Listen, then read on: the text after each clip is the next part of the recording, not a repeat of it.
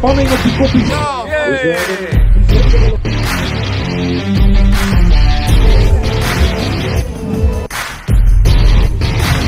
kort voor drie, de eerste start 600 meter V-cross.